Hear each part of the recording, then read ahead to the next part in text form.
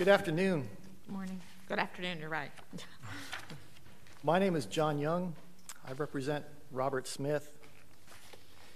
The bottom line in this case is that Mr. Smith is autistic, and Judge Brown did not know it when he sentenced Mr. Smith, and the case was close. And everybody in this case should be demanding a resentencing because anything else is unfair to everyone, especially to Judge Brown, but also to anyone who would be involved in executing an autistic man. Uh, and anything else would be unfair to anyone on whose behalf an autistic man would be executed. Well, autism, now they, I mean, they don't even use that word so much as people being on the spectrum, and there are people that are Asperger's, and I'm sure some of them might be judges and law clerks. I, I mean, it doesn't, the spectrum of autism is fairly significant, but if you go back to the time of the crime, um, would someone have even diagnosed him with autism at that time? When Deborah Stiebeck testified in 2010, she, she was certain that his autism would have been diagnosed at that time. And she testified that he was not only autistic, but he was pronouncedly autistic. It, it, wasn't just a little bit autistic. He was quite autistic, and she was certain that it would have been diagnosed at the time of the trial in 1981 or 1982, um, or, or at the time of the first PCR in 1984. The state presented no evidence to the contrary. The state presented no evidence that Mr. Smith was not autistic. The state presented no evidence that Mr. Smith was only slightly autistic. Uh, they did continue the 2010 evidentiary hearing so that they could consult an expert and so that their expert could interview Mr. Smith. Uh, in the end, their expert never did interview Mr. Smith, uh, and, and they opted not to present evidence. Uh, so I, I, I, it gives me an opportunity to argue what's really a, a missing witness instruction, and that is uh, apparently the state agrees with me or does not contest that Mr. Smith is autistic, and, and that it's a pronounced autism as, uh, as uh, Deborah Stiebeck uh, diagnosed it.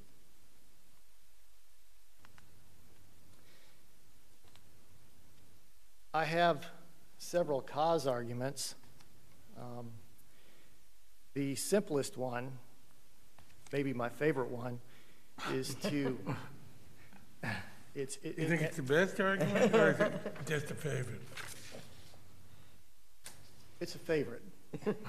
it's hard to pick. It's like asking me a favorite child. Um, the arguments are all different. Some are more interesting than others. Um, the, the, simplest one is to simply blame it on the state um, and say it's, it's, it's the state's reason um, that, that this was, uh, the state is the reason that this was uh, not addressed in 1984. In 1984, the first PCR attorney asked for a psychological evaluation.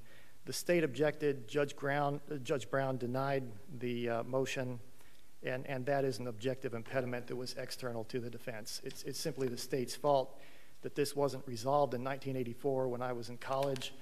Um, I'm, I'm sure that the state will point out in the course that this case is quite old, but it's not my fault that the case has gotten so old. Um, it, it, should not have taken until 2009 well, to get. It's so old that, like, three judges have died on the case already. Judge Thompson, um, I think Judge Ferguson, and Judge Roll, right? Judge Bilby also. Oh, I'm four. Okay, I missed one then. Well, let's not. Let's not yeah, labor let's that. stop with that. Come on. Not, not no to be more. morbid. Which Judge one of us is since next? Yeah. Uh, so, th- so the case has gotten has gotten quite old, but it's it's it's not my fault. It, should have been handled in 1984. It could have been handled in 1995 at the third PCR when I asked for a psychological evaluation. Um, there were competency evaluations. There were Atkins uh, intelligence evaluations, but there was never an evaluation, a psychological evaluation, and a psychological review for mitigation. And uh, it, really had to have been done, especially in this case. There were so many red flags, or as this court calls them, tantalizing uh, indications in the record. Um, there, there, was clearly a, uh, a, a, problem here, and there clearly needed to be a psychological evaluation.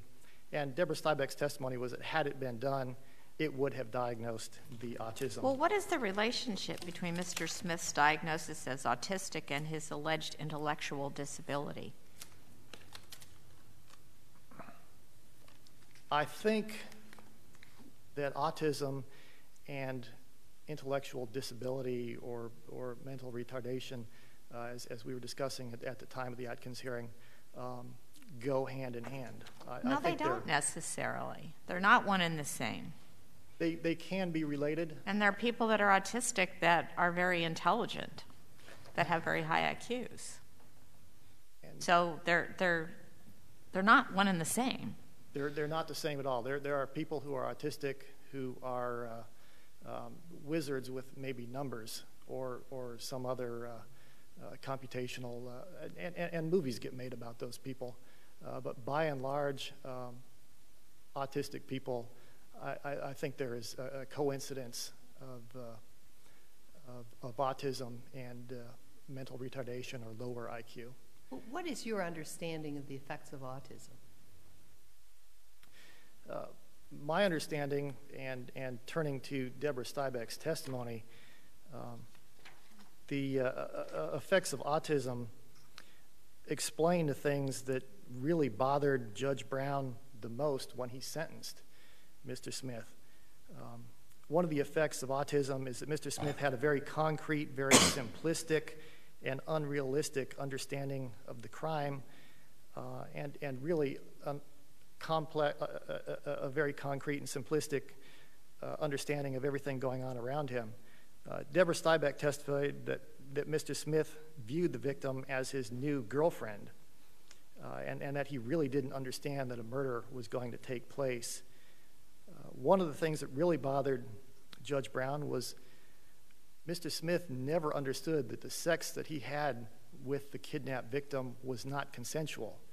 Uh, as he understood it in his concrete way of reasoning, uh, she agreed and they had sex. And, and he did not and, and does not view that as, as a rape. That's, that's clearly wrong. Um, Judge Brown would have had a better understanding of well, that. Well, there are two sexual assaults, too, right? Not just one. It, in it the facts of the case. It, it, it was repeated, yes. Um, but Mr. S- Mr. Smith cannot read or he cannot intuit any cues or emotions. Um, he describes the victim as being willing. We made love. We had sex. That was, that was not what Judge Brown was expecting to hear. That was not what Judge Brown wanted to hear. And, and those were the things that were reflected in the special verdict. Um, he said she was a nice girl. She said, yeah, she'd do anything willingly, and she did. That's a, that's a quote from, from Mr. Smith. Uh, his well, but if the if the sex were consensual, doesn't that defeat the special circumstances? Uh, no, the, special circumstances or the aggravating circumstance in this case was the cruelty prong of, the F6 uh, aggravator. Um, it was it was a, the, the cruelty. Right, but was it? But it was a rape. It was a murder as part of a rape, right? It was like a felony murder type of situation. Was that the theory of the case? There was a felony murder charge that was given.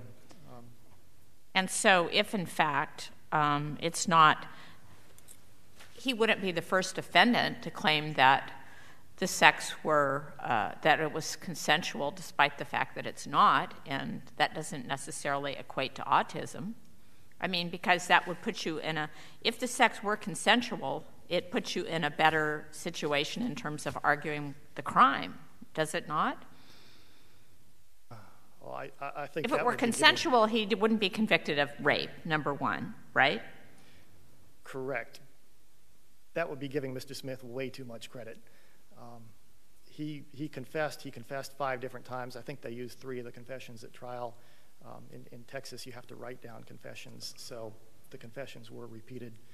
Um, he confessed many times to the crime, but he, he never really under, had an understanding that the rape was a rape and, and not sex. Um, and, and that was the testimony, that was the only testimony at the 2010 uh, hearing on cause and prejudice. The, the testimony was that he does not read social and emotional cues, that he cannot read facial expressions, he cannot tell when someone is in distress. Um, He does not know uh, what, whether he's doing Well, the can you thing. tell, can you tell that people don't want to be murdered? Uh, since there was choking, stabbing, and slitting the throat? And, and that was done by the co-defendant, and that was the surprise Well, didn't he do choking?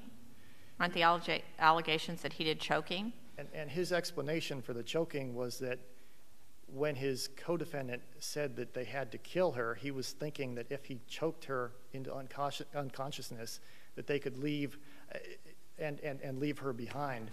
Um, it, he has a very simplistic, very concrete understanding of, of what was going on. Well, I guess that's one explanation. Is it the only explanation?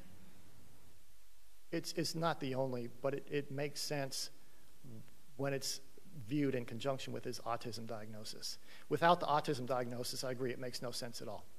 Uh, and, and that's where Judge Brown was left, and that's why this is so unfair to Judge Brown, is because he was left, the defense really didn't do his job. This was a So I. I guess are you are you taking over with the autism as opposed to the intellectual disability, or are I? I mean, I didn't see your briefing as abandoning the intellectual disability, but do you think the autism argument is stronger?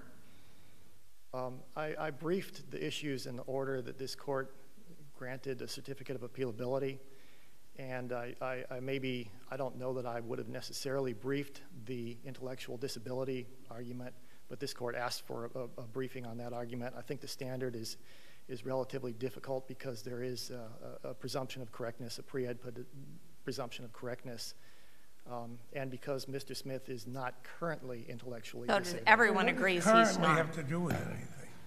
Uh, with- You're representing him, I assume. And you're t- saying that he's not currently disabled? So I- what? I, I, I agree. There, there is a so what. This, this case is very old, and the experts in intellectual disability expect that a disability will change over, over years, and it has changed. He's had adequate Well, I don't want you to go into the argument, but I just wanted you not to disavow your best argument. Oh, I'm, I'm, I'm not disavowing it a- at all. Um, Well, so the mental disability has to be measured from at what time? at the time of the crime. That's hard. Well, not if you're really a good lawyer. I'll try to be. All right. So the, uh, the overwhelming evidence at the, uh, and, and if this is my, my best argument, I'll, I'll, I'll get right to it. The overwhelming evidence at the hearing on the, on the Atkins uh, issue was that when Mr. Smith was in high school in 1964, he was tested and his IQ tests were 62, and then six months later, with the practice effect, uh, his IQ test was 71. That is, is part of the intellectual functioning prong. Uh, his intellectual functioning That's low. that's low. That's that's Yeah. quite low. Yes. And And and, what was that his Stan, what was his Stanford score? that was in the, the second and the fifth percentiles. So that was meant very he low. was- Even lower. Which meant he was how far behind his age group? He had, the- He, he was actually, I think, off the scale as far as his age group. He was off the scale as far as a first grader would have been. Uh, he was, I think, seven or eight years behind his age group at the age of 15. He was far behind on the Stanford tests that he took. He was far behind on the IQ tests that he took. He was in special education the whole time that he was in school, and yet he failed every single grade in school. Uh, so he failed his way all the way through special education. These are things to me that say He was functioning at a very subnormal level. intellectually he was functioning at a very subnormal level in high school in, in his high school years and, and in his later years too as he continued to function he was never able to hold a job he was never able to hold a relationship he was never able to hold a marriage um, his, his family testified that they really couldn't have him to family functions because his hygiene just wasn't up to coming to family functions um, these, these are all indicative of intellectual disability or, or mental retardation uh, his, his intellectual functioning was very low. and his adaptive functioning was very low. And, and that is what our expert said. Now, our expert also tested him, as did the state's expert, and he tested uh, in, in 2000 and uh, I, I, think 2006, 2005, 2006, he tested um, at, at an 89 and at a 93 for an IQ test. So his IQ had gone up. That was after he had been in prison? That was after many years in prison, um, and that was also after many years of, of psychotropic medications. And uh, Dr. Thompson testified that he was not at all surprised. The psychotropic medications that he was on, that, that Mr. Smith was on, would have improved the functioning of his frontal lobes. And as his frontal lobes improved their functioning, Dr. Thompson expect, expected that his IQ test would go up. And, and the, the, the Green Book, the, uh, um, the uh, AAIDD uh, book expects as well that uh, mental retardation, intellectual disability is not permanent, it's not static, it's a state of functioning. Well, there was conflicting evidence on this point that the district court listened to. Is that correct? And so then the district court made certain findings, correct? Exactly. Is yes. this the district court or is this uh, the state? The, uh, it, it, was actually in the, in the state, state court trial. that these state findings. Court. This hearing was conducted in the in the state court. It was uh, um, in, in the trial court at, at, that time, and there were factual findings that were made. I think this is uh, fairly a, a factual issue. And those factual findings included his current intellectual functioning and, and his current IQ testing. Uh, so it, I, I, I, do have some hurdles, um, and I acknowledge those hurdles. I don't mean to abandon the argument. I certainly briefed well, the argument. Well, I hope not. So I, I, don't mean to abandon the argument, but I do acknowledge that there are some hurdles um, in that argument. Well, then why don't you get over the hurdles if you want to win the case? I'm uh, uh, working, working at them, and, and second and fifth percentile certainly helps me with those hurdles. 62 and 71 helps me with those hurdles. Uh, special education placement. Uh, he was, uh, his, his, his immature social functioning, when, when he was young, the other children in the neighborhood said that he did not know how to play, that he could not carry on a normal conversation. He didn't act like the other children. When he was older, he was a transient, like I said, with no ability to hold a job. His relatives said that they would feed and clothe him. That is, that is not good adaptive functioning at all. Um, when he was very young, he was slow in making sentences. His etiquette, not only his hygiene, but he was also lacking in etiquette. Um, and, and these are all, all of this information is included in the excerpts of record, which are very lengthy in this case. Uh, I would like to ask you what effect, if any, do you, do you believe that the Supreme Court's opinion in Hall v. Florida has on Smith's case? Uh, I'm, I'm not recalling Hall versus Florida. If the court could refresh me. Well, Hall is where that was after. It was decided last year.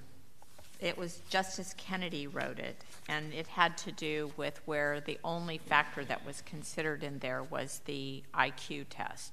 And it essentially stood for the proposition that you have to consider more than just the IQ test in assessing the intellectual disability. And I think in a footnote it also refers to the uh, Arizona statute on how you assess intellectual disability. It's a okay. 2014 case. Okay, and I, I, have read Hall versus Florida. I have not read it recently. I, I agree that that just matches the definition of intellectual disability. Uh, there are two prongs that I really see to intellectual disability. There's a third prong of, of this started before age 18. This is not important in my case. It might be important in other cases. Um, but this, all, all, of this certainly started before age 18. Uh, so I'm, I'm, focusing on adaptive functioning and, and intellectual Which is part of the Arizona test, correct? That's correct. Arizona does include uh, more than just the IQ test. Yes, and, and I, I, think any definition of, of uh, intellectual disability has to include adaptive functioning. Um, well, it, it, it, does, it does now, I guess. Um, there were uh, other, other people, and the neighbors would laugh at Mr. Smith. Uh, he, he did not understand the rules of simple children's games like freeze tag, like Red Rover. he, he wasn't able to play with the other children because he didn't understand those rules. Um, he was oblivious to social cues. He used to talk like a duck with no understanding that it really grated on the people that he was talking to. He looked down and out, lost, like he didn't have anybody, like nobody cared. Um, to other people, it seemed like he could not think for himself. These, these are all indicators that, that are in the definition of, of adapted, uh, adaptive functioning. Uh, he was immature and he did not mix well with other adults. And, and the people he found to mix with were very marginal uh, as, as well. And that was part of Dr. Thompson's testimony was that marginal people tend to associate with other marginal people. And that's what happened in this case. Um, it's true he could do some physical work, but he had trouble with tests and applications. And if he had How many physical, jobs did he have? uh, in the neighborhood of 50 jobs. Many of them, they, they were all very short term. Um, we, we did go out and get his Social Security records as, as part of the Atkins proceeding, uh, and, and his Social Security records are included in the excerpts of record. It was right at 50, 49 or 51, um, right at about 50 jobs that In what had. period of time? It was relatively short. I don't remember the period of time. He was 31 when he was arrested. Well, so after he long. was self supporting from when he was 16, correct? With his relatives feeding and clothing him, um, as, as they tested, testified, and, and also in a, in a transient, relatively homeless nature. He wasn't self sufficient with a mortgage and a family and a, a steady job and a paycheck. Um, he bounced from job to job. He was, he bounced from marriage to marriage, too, didn't he? Were they also short-lived? Some of them were as short as weeks. They were, they were all short. He, was, he was in a marriage when he was arrested, but that had been a short period of time as well. And my recollection is it was a total of five marriages that he was involved in. Um, You want to save time for rebuttal? Oh, you only, you have eight minutes. I thought you had five minutes. Right. if, if, if that was a hint, I'll take it. It's, uh, it's all right. I, I cut you off too early. I thought you'd want five minutes, but. Would you, would you refresh my memory again as to what your favorite argument is with respect to cause? Uh, my, my favorite cause argument is to blame it on the state for obvious reasons. Um, that's, that's really, I think, the simplest cause argument. The first PCR Had attorney. lawyers all the time? he, he had lawyers. The first PCR attorney asked for a psychological evaluation. And, and, and one of the things that we'll point out, that, the state will point out, is that the first PCR attorney in 1984, they were asking for a psychological evaluation because they wanted to address Judge Brown's misperception of future dangerousness, which is strange because future dangerousness is not even a, a uh, Arizona aggravator; it's a Texas aggravator. Um, but Judge Brown had found future dangerousness as part of his uh, special verdict. And so the, first PCR attorney wanted to address that. The fact that Judge Brown found uh, future dangerousness is not his fault, it's the attorney's fault. That was a sentencing failure. Um, what they were looking at was the result of the sentencing attorney's mistake. The sentencing attorney did not acknowledge all of these red flags. The sentencing attorney um, did not get a psychological examination done for mitigation purposes. I, I'm sorry, I'm not understanding why that is the state's fault. Well, that's the sentencing attorney's fault. That's, that's the ineffectiveness claim. The reason that the ineffectiveness claim never got discovered is the state's fault, is because they objected to Judge Brown, uh, they, they, they objected to a psychological evaluation at the time of the first PCR. Ever since 1995, they've been telling me that, well, this should have been done in, in, in 1984. Um, and uh, it's, it's uh, clear that there was an attempt made to get a psychological evaluation in 1984. That attempt fell flat. Judge Brown said no. There was also a second PCR in 1987. Um, there was no attempt made to get a psychological evaluation at that point. I think Judge Brown's ruling was already law of the case, and I, I think that the state will agree with me. They, they, will tell me if I'm wrong, and I'd be delighted to find out that I'm wrong. But I'm, I'm certain that second PCR is not an opportunity to raise anything. Um, and if I'm, if I'm wrong on that, the, I, I, invite the, the, state to tell me so. Um, because I would share that with my friends. I'm, I'm certain that second PCR is not an opportunity to raise anything. I did raise it in my third PCR, but that just shows how smart I am. It, it really didn't get anywhere. Uh, it, it, was, it was precluded as soon as I raised it. Judge Brown again denied funds for uh, a, a psychological expert, and once again, it didn't get done. Okay, But the now- first time- You now have five minutes. Do you want to save it? I'll go ahead and save it. Thank you.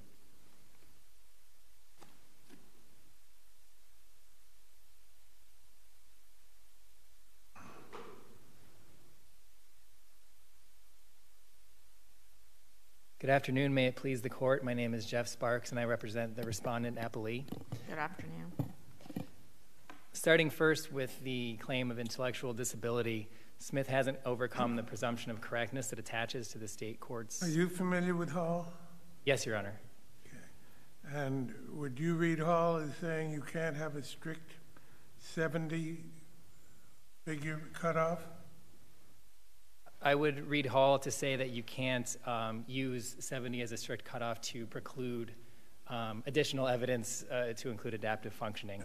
You, you can't just rely on 70 as a basis for saying there's no intellectual, you don't meet the intellectual standard. That's correct. That's how I would understand Isn't the, Hall. dis- didn't the state court judge do that here? No, I don't believe the state court judge did do that here. Um, Do you What did it? What, do you know what his findings were? i- i- yeah, I would be happy to discuss those. Um, All right, let's go to his finding, where he says, Uh, based on all the evidence, the court finds the defendant has failed to meet his burden of showing he was mentally retarded. There was insufficient evidence from which this court could find the defendant exhibited, quote, significantly sub-average general intellectual functioning.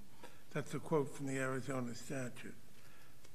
The Arizona statute says mental retardation means, uh, where's this one? Ah, wait, I've got the wrong one, hold on. Uh,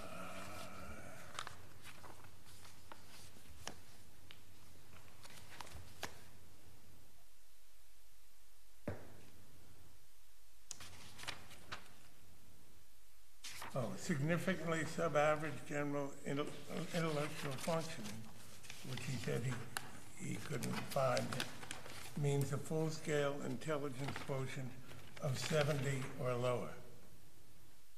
Isn't that what the district court found, the state court found? That was one of the state court's findings, Your Honor. Um, I would also point out that the statute, and um, under the, the current numbering, I believe it's subsection K5, it does require that the that a court who's assessing uh, th- that first prong of intellectual disability, the IQ score, also take into account the standard error of measurement for. What he found was that there was insufficient evidence from which the court could find that he exhibited sufficiently average general, sufficiently sub-average general intellectual functioning, which was defined as uh, an intellectual quotient of 70 or lower. And he, cited Grell as well as the Arizona statute for that. That is correct, Your Honor. And, the reason that Hall does not, um, in effect, render Arizona statute unconstitutional, Well, I'm not talking about the statute at, the moment. you're going to the finding. I mean, yes, the statute, whether the statute's unconstitutional could be the second question, but whether the finding is adequate here, when you find that he doesn't meet the, the the 70, 70 minimum as a basis of his finding that there's insufficient evidence. The reason that the finding is adequate here is, first based on the evidence that was presented. Uh, first, with respect to his current IQ scores, they were far above. Uh, Not, the- That not the reason, uh, you know, he could have said anything he wanted. This is his finding.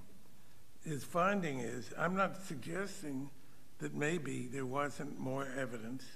I'm suggesting that his finding is that he, didn't meet the, uh, didn't rise above 70, or fall below 70. His finding was, quoting the term of the statute, that the uh, that that definition that he found he didn't meet means a full-scale intelligence quotient of 70 or lower. He said he didn't provide evidence that he met that standard. Did he consider anything other than the test in coming to that conclusion? I know that the statute talks about what adaptive behavior and certain other things. I haven't come to adaptive behavior yet. Okay. That's the next question. Well, But- those, those but ideas. whatever he considered, I'm talking about his finding. Okay. Whatever evidence there is, he made a finding in the conclusion, which says his finding is that there was insufficient evidence from which the court could find that he exhibited this definition set forth in the statute. And that he couldn't find that he met these quotient of 70 or lower. Now, as to the adaptive behavior, he also said that while unorthodox and unstable, defendant's pre-arrest life did not show, quote, again from the statute, significant impairment in adaptive behavior.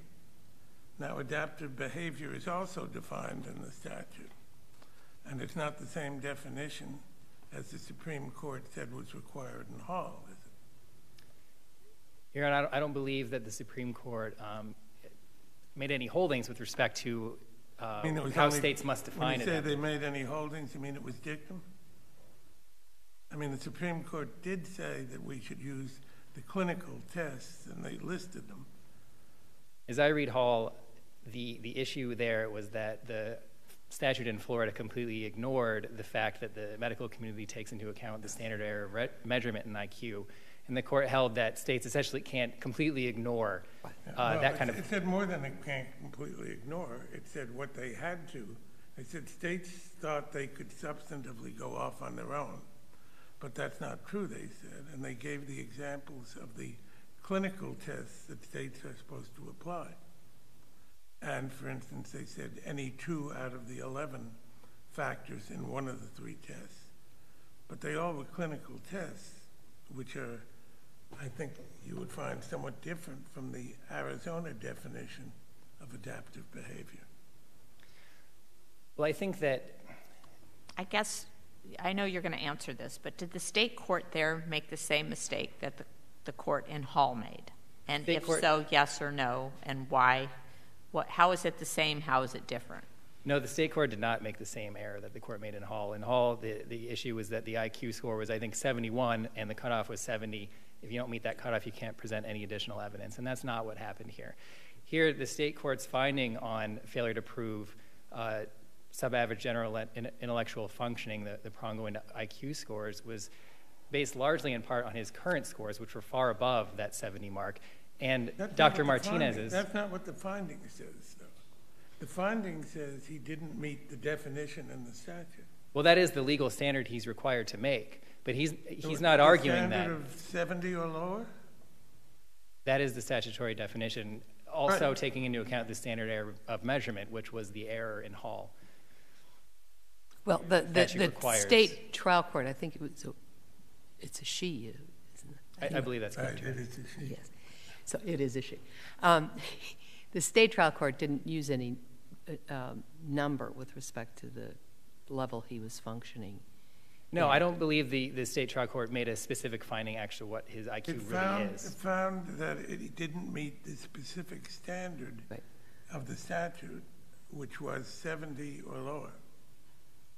Right, That, that's the definition of the term he used. And the, that, that, that term is stated at the outset of his opinion, this is the law in Arizona. Then when he made a finding, he said he didn't meet, and quoted the Arizona statute, which includes the term 70 or lower. It's, as you said, section five.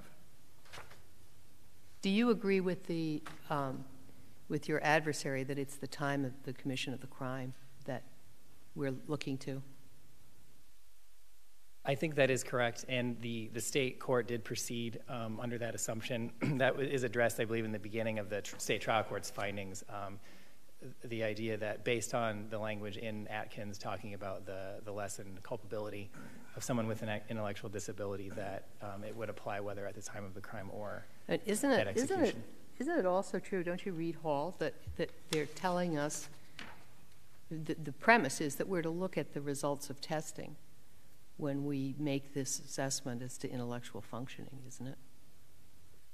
I, I think the issue in Hall is, is how we look at the results of the testing and how we Right, interpret but those the results. premise of that is that you look at the, at- you have to look at the testing results. And Right. we had, we had two testing results here, did we not? One, did. when he was a child, um, and one many year, after many years when he was in prison. And the, the, the one psychologist looked to the testing that was done when he was a child. And the, the trial court dismissed that. It said, well, we don't know how, who, who administered it. Is, do you think that that is really defensible after Hall? I think it is based on the, the totality of the evidence presented here. Both of the psychologists, both uh, Smith's psychologist and the state's, testified at the Atkins hearing that the specific test that had been given to him when he was a child um, was not a very reliable test, and even at that time it was given, it was already outdated, um, and that it hadn't been normed on various populations. So they were already. Oh, we've got, and it's corroborated by, by all of his behavior at the time. He was, he was, he was functioning at a level that was, was very, very low.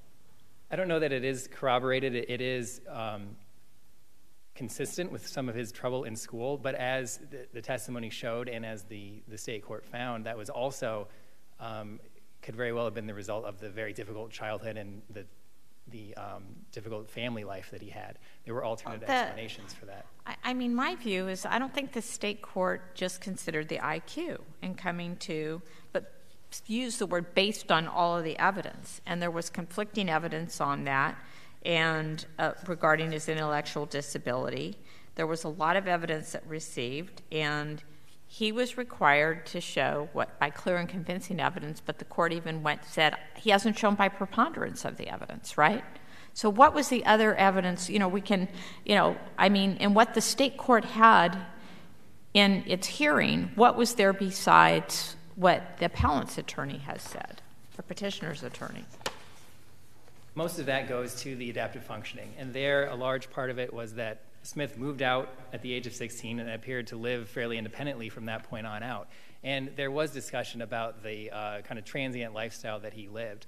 But uh, from both the depositions and the testimony at the hearing, um, it was shown that it, it was really a, a, group of friends that he traveled around and moved around with, and that was essentially the lifestyle that they chose to live. They, they moved around a lot, they were young men switched jobs often, moved from place to place, and, and chose to live that kind of a lifestyle.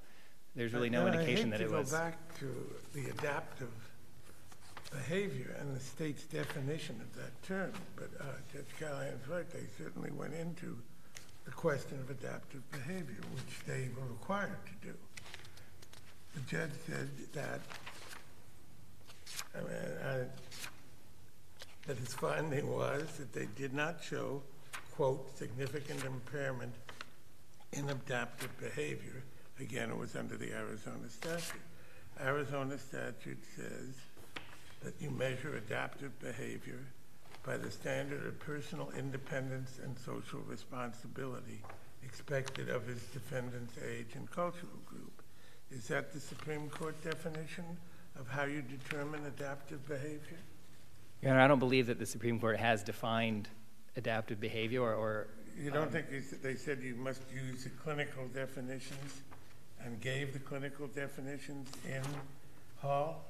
in Hall, I, I believe that the court stated that the, the medical community's definitions and standards must inform the way that the states um, address intellectual disability, but I don't know that it ever held that it must exactly I- I- adopt no, You can make an argument it didn't hold it, and that it's all dictum, but it certainly was the Supreme Court's explanation. And there are differing views on whether you have to follow a Supreme Court dictum. Uh, But uh, aside from the fact that you, you might want to term it dip- dictum rather than a holding, there was a Justice Kennedy gave a fairly lengthy disquisition on the fact that states should not make their own definition of these things, but that they should follow the clinical definitions. And that, that was two out of 11 and one, and then they revised them. And, but they gave clinical terms that you were supposed to find, and that's not what the Arizona statute provides. Again, Your Honor, I don't, I don't disagree that the court did discuss the clinical standards in Hall and, um, and, and was clear that states can't ignore those. But I, I don't, I, I, again, I, I don't read the case as requiring states to adopt those. In any case, I don't believe that that, that helps Smith here because he's, he's conceded that this is essentially a factual determination. He hasn't challenged the validity of the statute under which the Arizona courts found that he was not intellectually disabled. Has the, has the Arizona Supreme Court um, talked about the adaptive behavior standard? It has, uh, I believe, in in Grell, uh-huh. there were several versions of that case. In one of those, it did note that the Arizona's adaptive behavior definition did not ex- was not exactly the same as the clinical standards, but it didn't make any comment on, on it other than that. Well, exactly the same. It's quite an understatement. There's nothing about the clinical standards. Uh, I mean, just uh, Arizona has a very general statement about general behavior. And if you agree with what Justice Kennedy and the majority seem to believe, that there are clinical definitions that are medical definitions, and that's what courts should apply. Um, and, and I think you would agree that's not what this court applied. It may have heard evidence on it from which it could have drawn conclusions, but it didn't. It made specific findings, and it made the findings required by the Arizona statute in terms of the Arizona statute. Now, where that leaves everybody is another question about which one could disagree. Um, but go ahead. I'm not sure you answered Judge Callahan's question of how this case differs. What evidence was in the record that he wasn't, that was before the, the, the judge the, that made the findings that he was not retarded, which was what was his time, now it's intellectually disabled, but that was, what evidence in the record was to the contrary that he's not retarded? Yes, Your Honor. Um, and, and I realize we're talking about uh, his his status at the time of the crime. However, his current sto- scores are relevant to that. Both experts tested him uh, around, give or take a few points around IQ of 90, which is low to low average intellectual functioning. Doc, and looking at those earlier tests that were much lower, and the circumstances surrounding them, the unreliability of those tests, the fact that there's no raw data from that testing, there's nothing, nothing about the circumstances in which those tests were administered in the record to assess their reliability. The state's expert, Dr. Martinez, testified that it was highly unlikely that a person's IQ could improve that much. In other words, it's highly unlikely that those old scores were truly reflective of his intellectual um, capacity at that time. So, so really, there's no evidence. There's no there's no strong evidence, at least not enough to meet um, even the preponderance standard that the the state court applied, an alternative to the clear and convincing standard that Smith uh, met the first, as, the first prong of Arizona's definition. And then as to the adaptive functioning, again, while there was some information about his, his, difficulty playing games as a children and things of that nature, there was also testimony that he was athletic and played sports as a teenager. Um, as I mentioned before, he moved out at age 16 and appeared to live independently. And while he held many different jobs, he was consistently employed, and many of the jobs he held require at least some level of uh, intellectual ability. He was a mechanic, a truck driver, uh, installed cable. So, did he have any criminal record before this? Nothing significant. So, was that before the judge as well? I'm not sure that that was part of what the court relied on. Well, now, I, I mean, in terms of in, in Hall, the Supreme Court found Florida's approach unconstitutional because it goes against the unanimous professional consensus. Is that the same as saying that they're adopting that definition on a national consensus consensus and that's what every state has to do exactly that? It's not eh, because I don't read Hall as undoing what the court held in Atkins, which was to leave to the eh, generally to leave to the states the, the procedure and mechanism for identifying intellectual disability. Don't read it as going beyond procedure to substance. Somewhat, and eh, and again, as Judge Callahan pointed out, I the way I understand Hall, the court was was saying that the problem with what Florida did was it was completely ignoring what the medical community says about how to use an IQ test, which is it's not just a number. There's there's essentially a range. Well, let, us say that there is a clear disagreement, I suppose. The, the Arizona Supreme Court said in Grell that the Arizona statute just requires an overall assessment of your ability to meet defendants' uh, society's expectations. It then says quite specifically that it doesn't do, although it doesn't say the Supreme Court, it says it doesn't require a finding of mental retardation based, it says, solely on proof of specific defects or defects in only two areas, which is what the Supreme Court talked about in the test. Your view is that the, the discussion about clinical defects and clinical methods of establishing those is not something that's binding on the states, that the states don't have to follow that system of clinical, looking for clinical defects, but can just apply a general test of its own.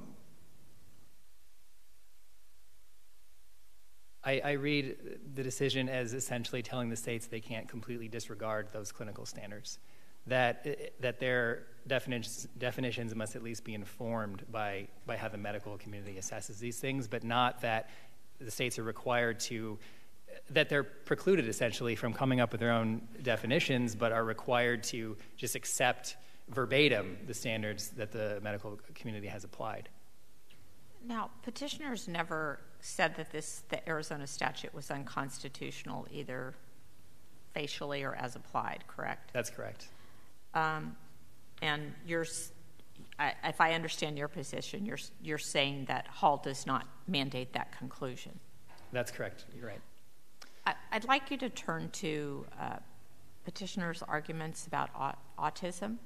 Um, Can I ask one question before we get to autism? You are presiding. You certainly may. No, that's not the reason. uh, I just want, before we leave this subject, now I've forgotten the question. hey, that was my point. Yeah. um, it was about Hall. Uh, Hall was decided after all the briefs were written, right? By the state's brief? Yeah. Yes, Your Honor. And the other brief, all briefs were written. And Hall certainly has a substantial impact on what the state's obligations are in, in, the, in their statutes.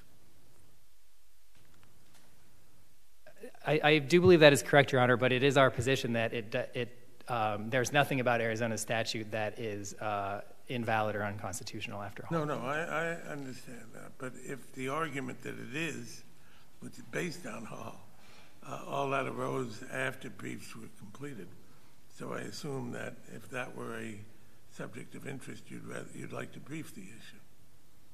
If, the court were, we would um, take that opportunity if the court would like us to, to no, brief no. No, I mean, if you don't want it, I'm not trying, believe me, I'm not asking for more briefs than we already have in all these cases. I just mentioned, it was an observation that all of this occurred and what the meaning of Hall is is something that has not been briefed by either side. But there's such a thing as 28J letters, and neither of you filed a 28J letter on Hall, correct? Correct. And, uh, and again, Smith has never challenged the, the definitions that were applied here, only the factual findings made under those definitions. Well, certainly you wouldn't want us to execute somebody who's uh, where the statute was unconstitutional or the Supreme Court rules substantively were not met. Absolutely not, Your Honor, but uh, we, we don't believe that that is the case here. On the autism, uh, what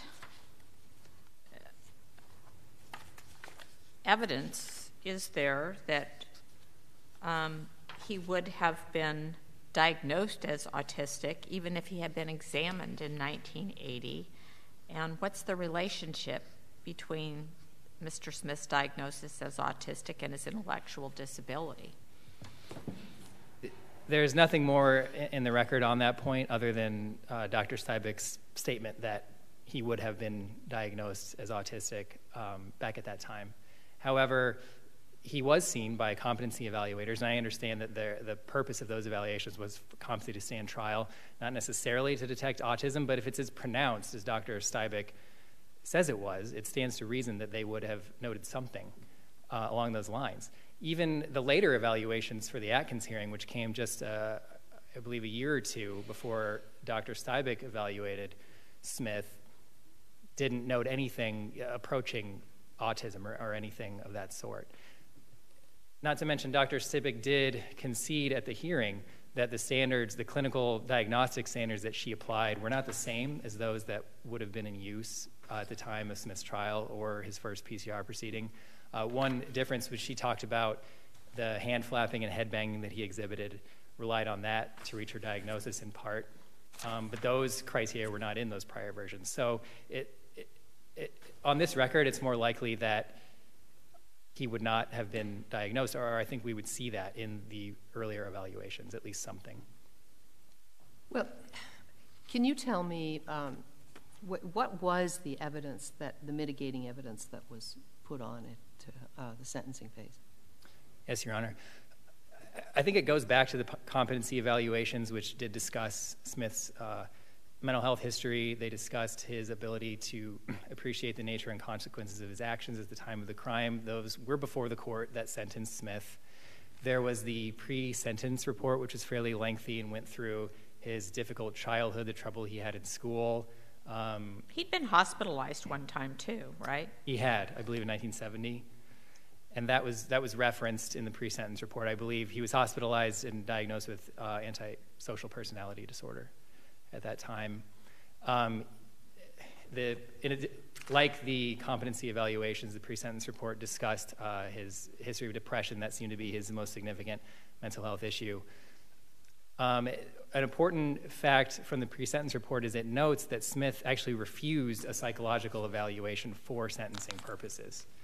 And that's wasn't it, it a couple of times he was supposed to be transported and he wouldn't go? I believe there were two occasions. It notes, and I think that's very significant when we don't even get to that information unless Smith can show cause to overcome the default. Oh, yeah, you know, claim. but I find it very difficult. Atkins didn't come out until years later, so no one could have known that a that had a, a right to have an evaluation to see whether what his intellectual capacity was, and so and so I, just I, am not sure that his refusal and his behavior and all of that has any any relevance at all to this. Um, and Dr. Martinez was the was the doctor who te- that whose whose testimony the trial court um, credited. Um, he just said, according to the trial court, that he thought it was unlikely that his his his functioning could improve as much over the period of his uh, incarceration. But he didn't say anything about what his level was at the time of the crime. So. Uh, he didn't, um, but I, I, believe that's for that's. What's the standard for competency? Whether they can understand the nature of the proceedings and assist in their defense. That's correct. I mean, and they look and see what what mental illness they have, right. what what would be the significance of that mental illness and how it would play out in your reasoning process, right? That's correct. And, and in those competency evaluations, one of them discussed the fact that uh, Smith appeared to um, be, have average intellectual function. Another uh, noted that he didn't seem to have any uh, organic brain defects or anything along those lines that interfered with his thinking process. So there's really nothing in those competency, competency reports that would have alerted either trial counsel or PCR counsel that there was some, something that was missed, that there, there was a, a big reason to have another evaluation done, especially in light of the fact that he refused an additional evaluation in connection with his sentencing. And that's significant because Smith can't overcome the procedural default here. W- one of the arguments would, would be under Martinez he can't show cause under Martinez unless he can show, uh, among other showings, that his PCR lawyer uh, h- Are we talking about the autism here? Is that? That's correct. Really, any of the, the new evidence he's, he's presented. But again, there's nothing in those older reports that would indicate to his prior counsel that there was uh, these diagnoses sitting there. These are very recent after a case that's been going on for decades that these have been uncovered, and there's nothing in the record back from the time of the trial, from the time of the initial proceedings, that would have indicated to counsel that they, they missed something or that additional evaluation needed to be done. And I think that's very relevant to, uh, as one of the reasons why Smith um, has failed to establish any cause to overcome the procedural default of his trial and effective assistance claim. Okay, thank you, counsel. Thank you, Your Honors.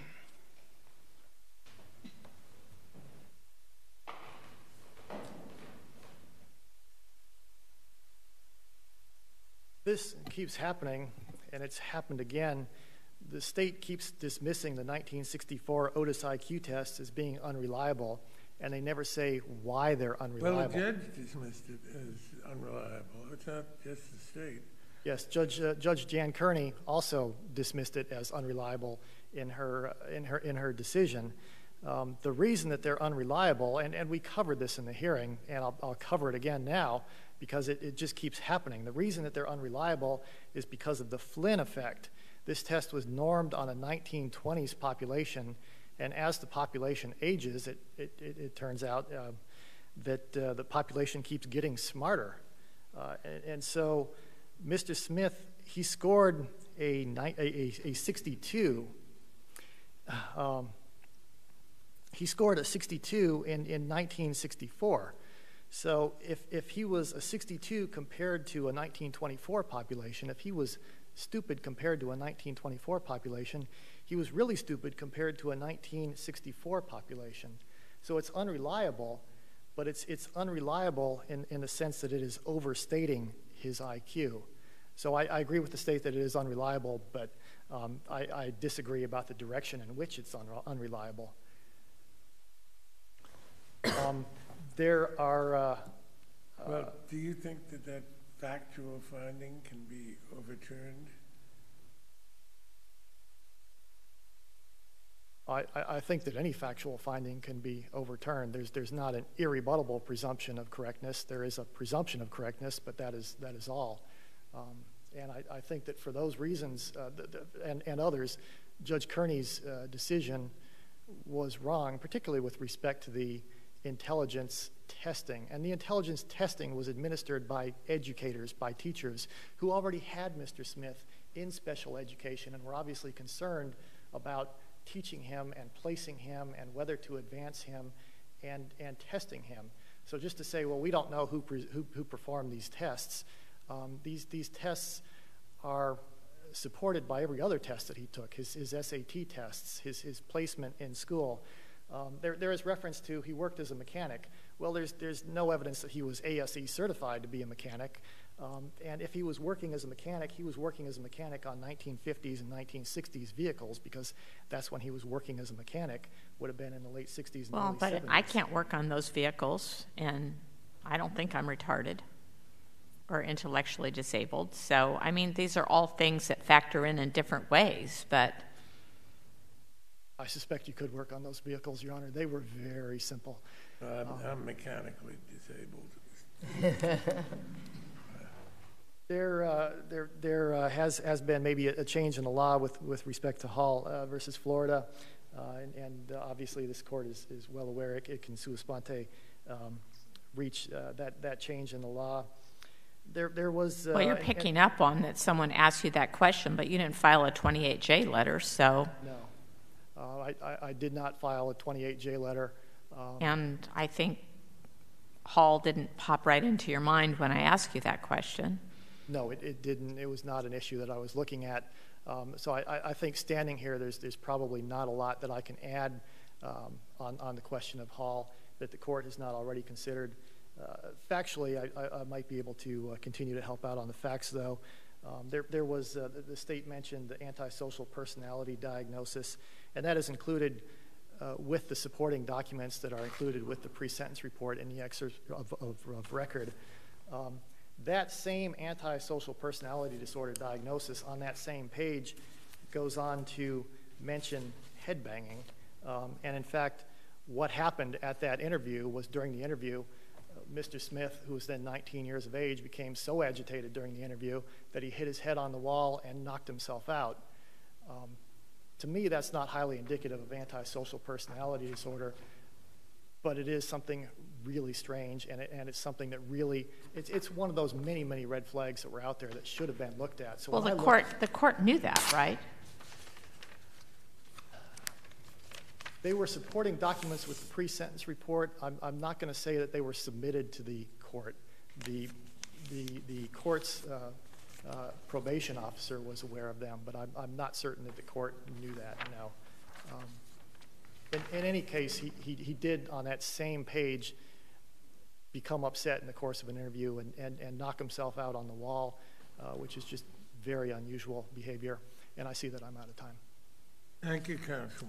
Thank you. Case just argued will be submitted. Thank you both. Uh, Court will stand in recess for the day.